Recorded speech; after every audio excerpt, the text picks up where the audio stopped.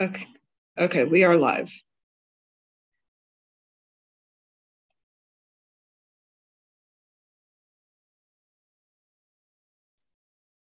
We are live on YouTube. And we're up on our website. We can start. Okay, good morning, everyone. I want to thank all the district managers and the agency representatives who are here on the call this morning. Today, we're pleased to be joined by the New York City Parks Department and Long Island Railroad. Uh, and of course, I'm Michael Mallon, Chief of Staff to Donovan, uh, Borough President Donovan Richards, uh, and I'm chairing uh, this uh, Borough Cabinet meeting in his stead. Um, as I was saying, uh, we're, we're, pleased to be joined by the New York City Parks Department and the Long Island Railroad this morning. The first presentation will be from the Parks Department. Uh, for a second uh, agenda item today will be, we will receive an update from the Long Island Railroad. Um, but first we'll begin with parks. Uh, and without further ado, I'll hand it off to Chris Davis. Good morning, everyone. Um, I've talked to many of you at uh, the annual community board uh, con uh, budget consultations. Uh, I'm Chris Davis. I'm the chief of recreation for Queens. Uh, my team operates the recreation centers in Queens, uh, the indoor pools and field house programs in the borough. We also lead a variety of seasonal programs and events throughout the borough.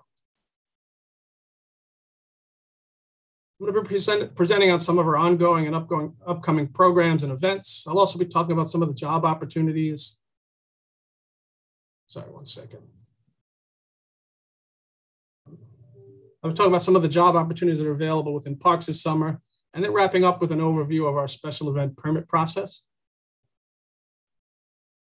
Um, are you able to see the screen? I tried to share the screen here. Everyone able to see it? All right, thanks. Uh, some of the ongoing programs um, well, two of the programs I want to highlight are Saturday Night Lights and our citywide aquatics programs. Um, our Saturday Night Lights program is continuing at three locations, Sorrentino Recreation Center, Roy Wilkins, and Al Oerter. We also have extended morning, evening, and weekend hours at all three of these sites. Uh, we're getting more than 200 teens at Al Oerter uh, most Saturday nights. We're offering a variety of sports, uh, including basketball and volleyball, which have been our most popular activities but we're supplementing the sports activities with arts and crafts, uh, board games, computer room access, and, and more. Uh, we've had great representation from our local precincts each week.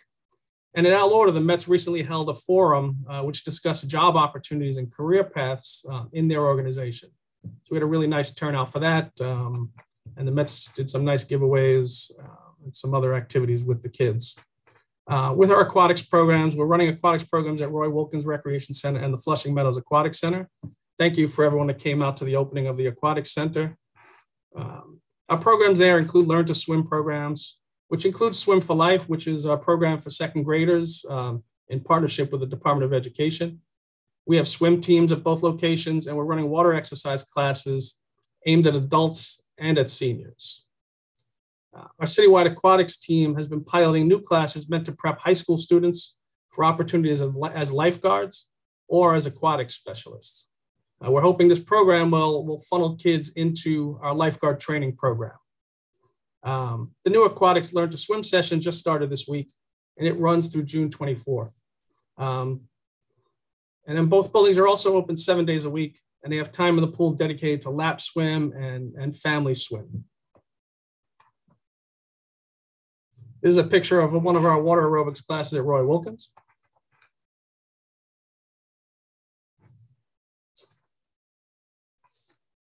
Uh, as far as upcoming programs, uh, one of the most important ones we have coming up is our senior games.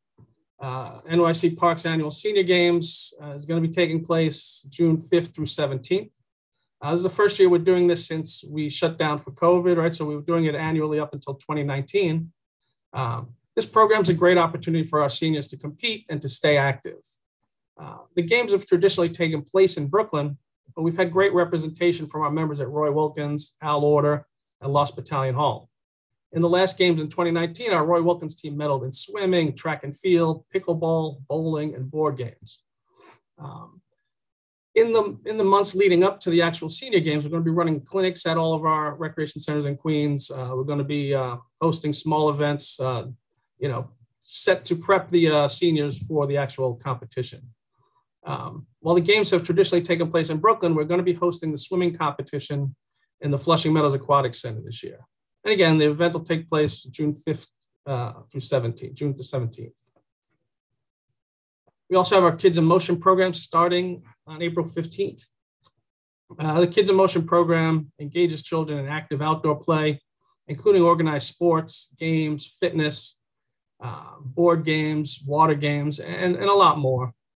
Um, our staff is there to lead activities uh, five days a week. They're there to provide an adult presence in the park, and they're there to help keep their park clean and safe. When we're fully staffed on July 21st, we should have 22 Kids in Motion sites open, and we'll have at least one site open in every district. Uh, we also have our summer camp coming up. Uh, we host summer day camp in six locations in Queens, uh, Sorrentino Recreation Center, Detective Keith Williams Field House, uh, Arrow and Astoria, Al Oerter, Casino Park, and Cunningham Park. The lottery for registration took place in March, and currently all spots are filled, but some spots may open up later as soon as students find out about summer school assignments or other uh, school opportunities. And parents can stay informed by checking the summer camp page of our website or signing up for updates on the website. Um, our Playmobiles um, are, are still available uh, for, for uh, request. So the Playmobiles are available right, by request from May through October, and it's for events that are free and open to the public.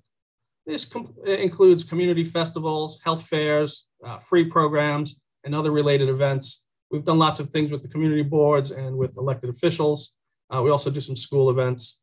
We don't do private or exclusive events or, or uh, private parties or other uh, programs associated with a fee. So our mobile units are stocked with games, balls, other sports activities, arts and crafts, and more activities. Um, the online portal to request the mobile unit is not currently active, uh, but units can be requested for Queens events by calling my office at 718 393 7370. Uh, people can also email me directly. Uh, hopefully, they'll have information online soon about how to uh, how to apply. But for now, people can reach out directly to my office or to me.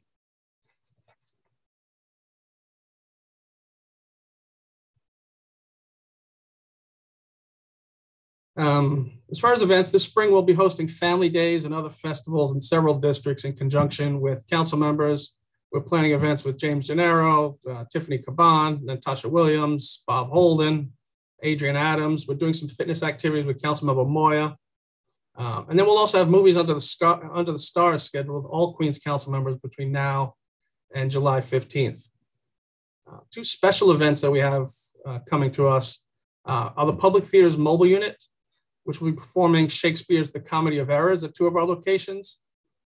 Pre-COVID, we hosted these uh, shows in our gyms and in our field houses, but uh, right now they're doing outdoor shows. So we'll have a show at Roy Wilkins Park on May 4th. And then um, in the courtyard at Arrow, we'll have shows on uh, May 17th and May 19th. We also partner with the uh, Jazz Foundation of America. So planning several outdoor shows with them. Our first show will be at Roy Wilkins Park on May 25th. The feature performer there is going to be drummer Craig Holiday Haynes. Uh, we're also looking to do uh, at least one concert in um, Lawrence Virgilio Park and in uh, Bound Park.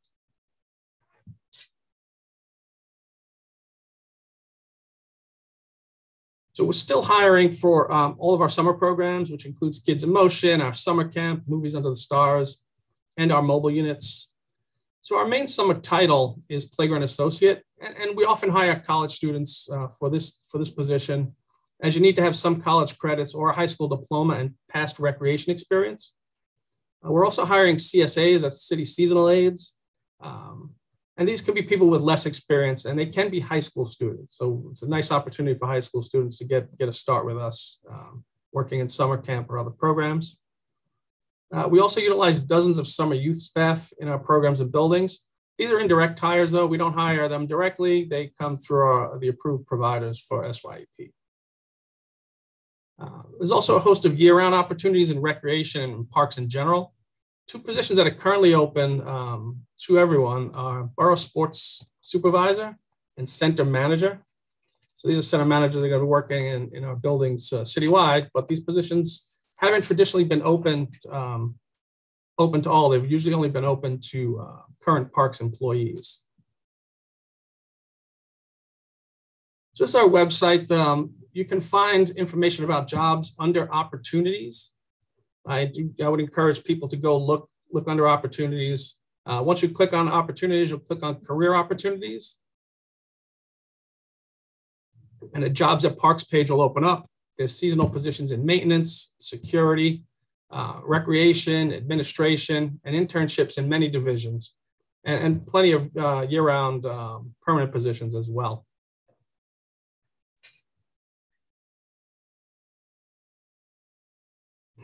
So uh, I'm going to talk a little bit about the permit process with a focus on, on, special events permits. That's, you know, most of the inquiries we get are about special events permits. So I will um, focus mainly on that. Uh, to access our permit, permit system on the website, you're going to click on the permits tab and this window will open up here and you'll see where we're doing a, a variety of, of permits, uh, special events permits and tennis permits, field and court permits. Those are the basic ones for the public, but there's also stuff for boating and marinas and farmers markets and other stuff. Uh, and then there's information, permit rules and fee schedules can be found there. For our special events, uh, you can apply online and we recommend applying online. It's easier to follow it through the system. You can still apply in person here at the office in uh, Flushing Meadows, Corona Park. Um, there's a 21 to 30 day processing period. We often get stuff uh, a much shorter turnaround than that, uh, but it can be tricky. We do try to work with people and get their permit through the system. I mean, that's our goal is to actually uh, issue permits.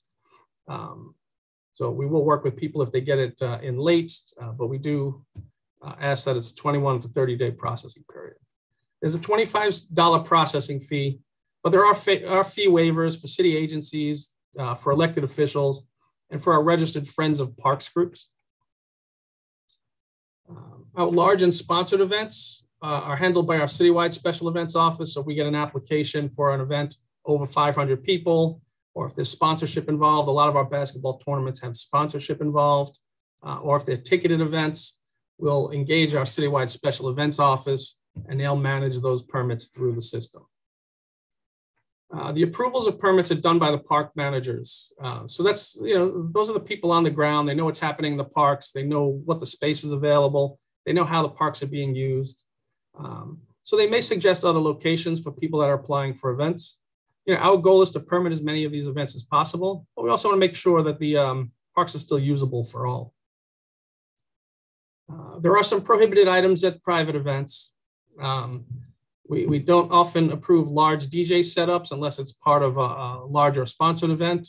Uh, again, we, we, want these parks to be usable for all. When people bring in extra large DJ equipment, um, it pretty much taking over that whole park for the day um, in many ways. Uh, we don't allow inflatable items. We do do some inflatables with elected officials. We do some inflatables with PD events, uh, but we don't allow inflatable items like bounce houses for private events.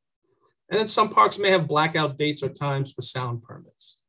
Uh, you know, there's some communities where we, you know, people live right up, right over a park, and while we do do some sound permits at those sites, we don't want every weekend taken over with, um, you know, heavy sound. Uh, I'll talk quickly about sports field permits. Um, these permits are issued seasonally. Uh, we have a spring and summer season that's done uh, together. Then we have a fall season and a winter season. And, use of the uh, use of the ball field is based on availability, which can be tight at times. Um, we definitely have a shortage of usable soccer fields, um, usable full-size soccer fields in the borough. Um, and then youth and program youth programs and schools get a priority on those permits.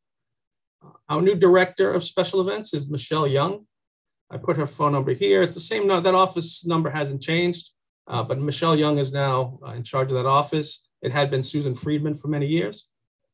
Um, and this is Michelle's uh, email address.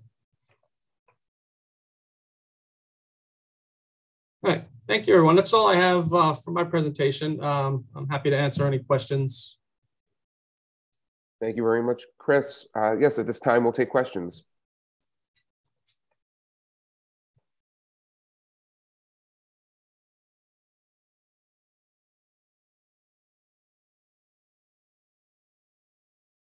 No questions. Looks like they're letting you off easy today, Chris. Yes, thank you. Gary, Gary has a question. Ah, okay, Gary, good morning. Good morning. Yeah, mo- mostly a compliment. I think that these programs are often just really wonderful for for the young people and whoever else they're being provided for. So I want to thank the Parks Department um, as well as all the youth organizations in the borough for making summer a lot more fun um, for uh, a lot of young people. Here, here. Thank you, Gary. Thank you very much, Gary. Uh, Florence, followed by Marie. And actually piggyback on Gary. Parks does a wonderful job. Uh, Post pandemic, are we going to get all of our summer programs back? The tennis, the golf for the youth, all of that in the park? And with Astoria Park being closed, the pool is going to be under renovation for that portion of the park. I don't see enough uh, social media letting from Parks Department, letting the public know that the alternate would be please try to use Flushing Meadow Park or um, the other park pool that was noted. Could Parks Department please blast that a little more? Thanks. I could pass like the, the social media messaging. I'll pass on to uh, Parks Operations. Um, you know, as far as as far as programming, um, City Parks Foundation does a lot of those tennis programs and track and field, and they they have said that they're going to be at full capacity this year. Thank you. Good morning, Marie. Good morning. Thank you so much for this good information. I hope you were able to send us flyers so we can put out in our newsletters to encourage people to participate. Um, on another note, I was hoping we would have someone from the um, forestry part of um, the Parks Department. And I hope that someone comes back because we do have a lot of forestry issues that we'd like to have addressed. Certainly, and I'll take that. We can certainly bring forestry on.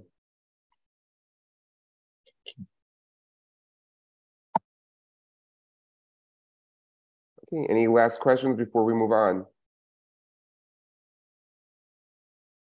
Okay, seeing none, I want to thank uh, Chris and Parks for, for being here. Uh, thank you very much for your great work.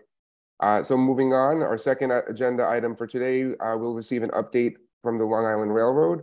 Re representing the LIRR is Annabelle uh, Frias. Annabelle serves as the Assistant Director of Government and Community Relations.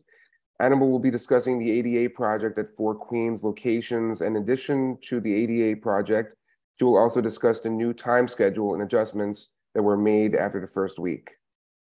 Uh, and uh, without further ado, Annabelle, the floor is yours.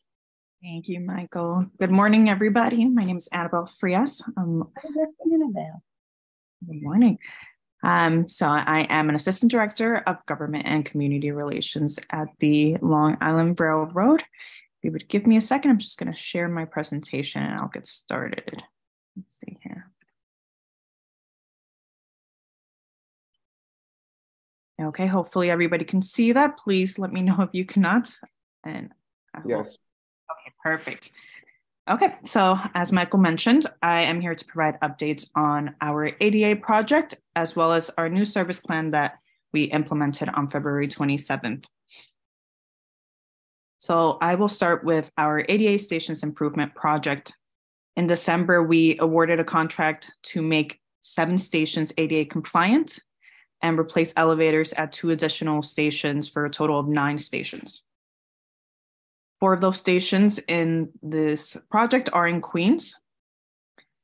So I'm going to go over each um, station and the individual scope for, for each station. Um, so at St. Albans, we will be installing an elevator near the center of the platform within an existing pedestrian tunnel. And that'll be connecting the street level with the platform level. We will also be reconstructing the tunnel to provide the required um, height clearances. Other ADA improvements at the station include improvement to the ADA path travel and ADA improvements in the parking lot. At Locust Manor, um, since there are two platforms at that station, we will be installing two elevators to serve those two platforms, as well as improving the ADA path travel and installing information kiosk. At Laurelton, we will be installing a new elevator by ex excavating and constructing a tunnel to accommodate the elevator shaft. And then in Auburndale, that's one of the stations where we will be replacing the elevator and it will just be within its current configuration, just a new elevator shaft. In terms of a schedule, um, the contractor will actually be beginning work at four stations in Long Island um, sometime this summer, and then they'll work their way west um, into the Queens Station. Um, we are awaiting a finalized schedule for the Queen Station, um, but work should begin sometime in 2024. Uh, the contractor is actually currently at Locust Manor um, doing some soil boring surveying there. Um, so they're, they're moving along. And then the following couple of slides are just renderings of the project. So here's a rendering of the St. Albans station and um, an idea of what the um, ADA project will look like once completed. As you can see here, the elevator shaft will be through that tunnel and it will go up towards the platform level. And then towards your right, you see a bit of a structure that would be, that will be the communication room for the elevator. Here is a rendering of the Locust Manor ADA project. As you can see, there are two elevators um, serving both platforms. Uh, I apologize, this bar is covering a bit of what I wanted to show, but um, underneath is the uh, improved ADA path of travel. Here is a rendering of the Laurelton station. Um, and as you can see, we'll be excavating um, a tunnel um, and installing the elevator shaft there. And that will go up towards the center of the platform and it's not included in the rendering here, but um, at the, there will be a curve to accommodate any ADA path travel as well. Um, and the communication rooms are just these two structures uh, attached. And then at Auburndale, as I mentioned, will be it's just replacing the current elevator um, and it'll be in the current configuration. So um, not much will change there. It's just a new um, elevator and um, some aesthetic changes. So that is it for the ADA portion of this presentation. Um, I'm going to move along to talk about our service plan. As I mentioned earlier, we uh, implemented our new service plan on February 27th. This is the biggest service increase in Long Island Railroad history. We added 271 Long Island Railroad trains per day, increasing system wide service to 936 trains per day service levels increased to 41% uh, over the previous schedule, schedule of 665 daily trains and created reverse peak service on the Port, Port Jefferson and Ronkonkoma branches for the first time. All of this being said, we do acknowledge that we definitely had a rough start to this new service. And we know that our customers um, were inconvenienced and did struggle that first week, especially, but even on to the second week, especially our Brooklyn ride, um, Brooklyn bound riders. Um, so we just want to acknowledge that and mention that we've been adapting to address these concerns from the public as quickly as possible. So since then, we have made some adjustments based on some of the major issues that we have seen and heard from commuters. So one major issue we heard um, were regarding the levels of service for the Atlantic terminal shuttles. We heard complaints about the Brooklyn service being every 12 minutes.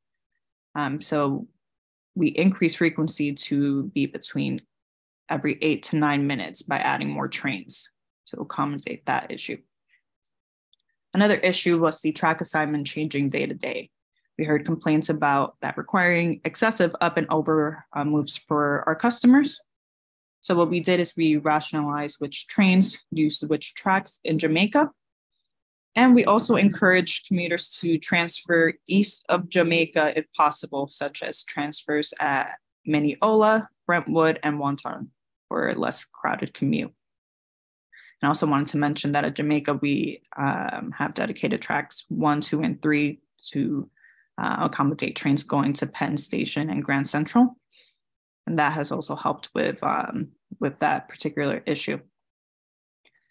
And another major issue we heard was the overcrowding on Penn, uh, Penn Station trains. What we did is we reallocated trains and we lengthened train sets to accommodate the capacity to better reflect the 70 30 passenger split that we saw. About 70% of our passengers are going to Penn Station and 30% are going to Grand Central. So we accommodated by lengthening Penn Station trains uh, a bit more and reallocating some trains um, from Grand Central to Penn Station. And of course, we are continuing onboard announcements, utilizing our screens in our in our cars, and we are also encouraging our commuters to use all available seats. We do know that uh, occasionally our commuters don't prefer sitting in um, those middle seats, um, but we do find that that does help with overcrowding. So, if possible, please use all available seats on the trains. And then I want to talk a bit more about the Brooklyn service. So rush hour service was increased to Brooklyn by adding two additional train sets, reducing time between trains on the Jamaica Brooklyn shuttle. Now there are a total of nine train sets operating between Jamaica and Atlantic Terminal. That's an increase of about 29% over the first week and effectively is reducing wait times for Brooklyn customers during both peak periods. Additionally, to streamline, tra- streamline transfers to Brooklyn, the Long Island Railroad has platform controllers to assist customers on platform F, which serves tracks 11 and 12, um, where our Brooklyn trains are departing from. The platform controllers determine the timing of train departures, and they can hold connections when appropriate. When conditions allow, a Brooklyn service does not depart the platform within the arrival of a second train, without the arrival of a second train on the opposite track for the morning rush hours. So that way, there's always a train um, awaiting customers on tracks 11 or 12. Similarly, we have uh, uh, the same system at Atlantic Terminal in the afternoon and evening rush. So that concludes my presentation for today. I do have my contact information one more time for those who were not able to catch it. Um, and I also wanted to answer a couple of questions that I received from um, community boards specifically. Um, so I'll, I'll, leave this up for anybody who would like to um, write that down while I'm answering these questions. So from community board seven, um, we heard complaints about vendors under the trestle, um, as well as squatters sleeping and urinating in elevators. Um, so specifically regarding the urination elevators and squatter sleeping, I will be relaying those issues to the our MTAPD and the branch line manager to address those issues. Um, regarding the vendors under the trestle, um, so of course we do not allow vendors underneath our trestles. Um, I'll be relaying that information as well. Um, but I, I, believe that this is an issue uh, that it's a bit multifaceted and requires a couple different agencies um, to to address this issue. Is it, seems like they're not just underneath our trestle; they could be on our trestle and also on um, city property. Um, so I did want to mention that, um, but we will be addressing what we can on our property. Um, a second question I received from Community Board 7 was regarding trash at stations and who is responsible for picking up trash at, at stations, specifically at Murray Hill Station. Um, so we are responsible for maintaining um, our properties, uh, picking up trash at our station. Um, so that would be either our platforms, station buildings, right away.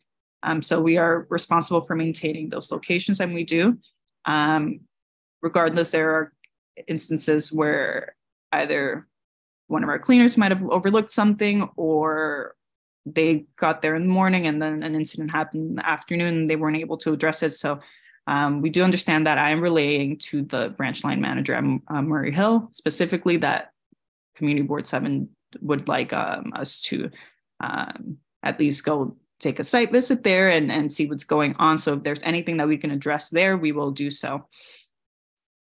Another question I received is, or request, I should say, um, is regarding our trestle on Archer and Guy Brewer. Um, requesting bird netting to decrease bird droppings. So I did put in this request, um, but I did want to clarify. So we can install netting in the walkway um, under the trestle. Uh, we no longer install netting on the road, over the road. And the reason for that is because we have found that when we do that and there's a large truck that drives um, through, occasionally they hit that netting and that netting then is dislocated and falls um, and obstructs traffic. So for safety reasons, we don't install netting over the roadways any longer. Um, but we can install netting um, over the walkways if, if, there are major issues with bird droppings. So I have put in that request and I can follow up once I have more information there. Um, another question was regarding traffic issues uh, at that trestle. Um, parked cars, apparently. So I've relayed that to MTA PD. Um, I haven't heard back just yet regarding uh, parked cars um, and how they're going to be resolving that issue, but I'll follow up with them today um, and I can get back to you on that. Um, and then I have a request for replacements of lights at Sutphin Boulevard Station, um, which is completely dark. I believe that's a DOT request. Um, I can relay, relay that to the DOT um, liaison. I'm not sure they're on, but I can also get in contact with them afterwards. Um, and another request for the Jamaica station um, to be cleaned, very much understood. We have received this particular um, complaint from others. So that request has been relayed to the branch line managers.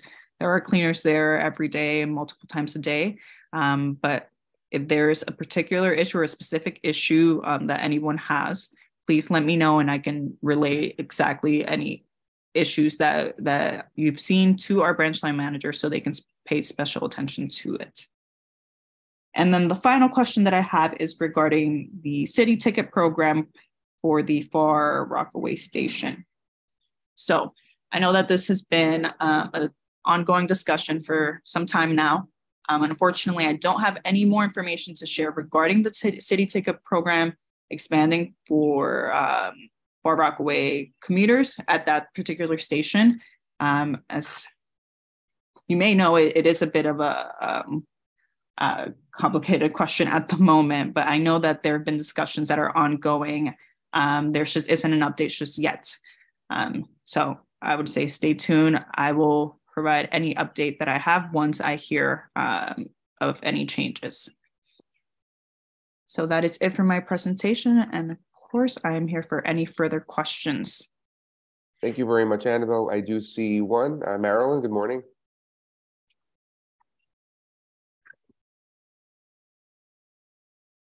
You're on mute.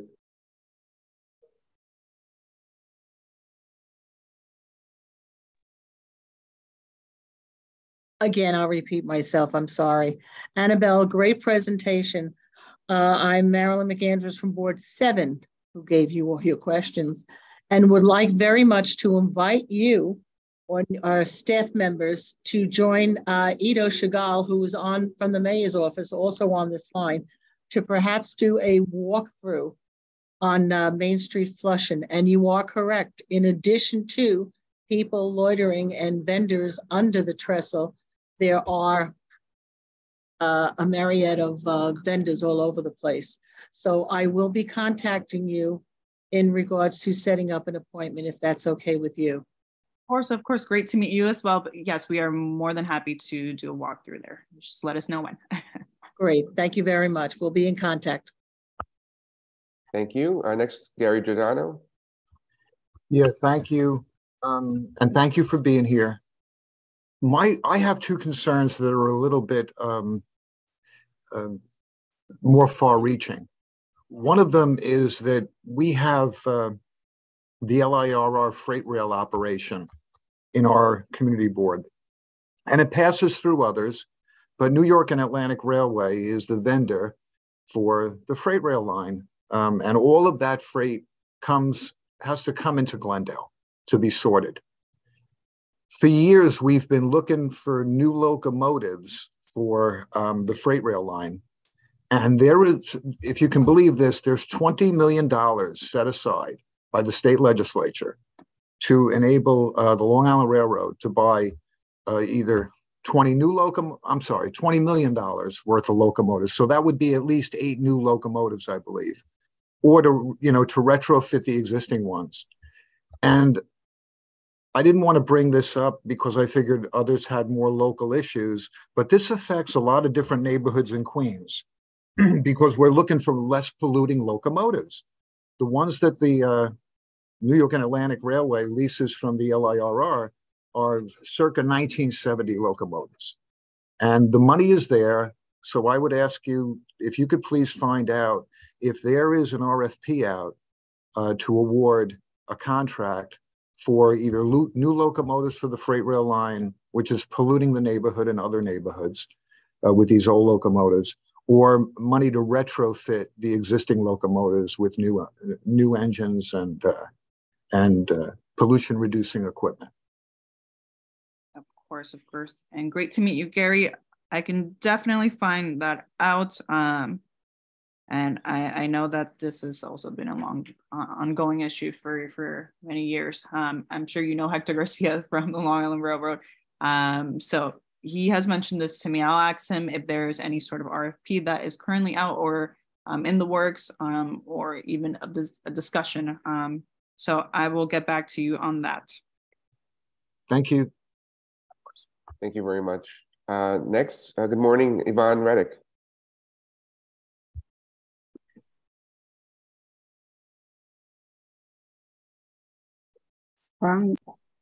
Now, oh, you're muted, Yvonne. Yvonne, you're still muted. You're, you're, now you're fine. Okay, thank you and good morning. I had submitted those uh, questions regarding Sutphin Boulevard and Archer. I questioned regarding the lighting. I was told they that's the Long Island Railroad. Yeah, that is it, it is not from my understanding that is um DOT um responsibility. Um I'm not sure if there's anyone from DOT on, but um, I did put in the request initially, and that that was the response that I received. That that is yes, and I, I can relay that information to the DOT as well.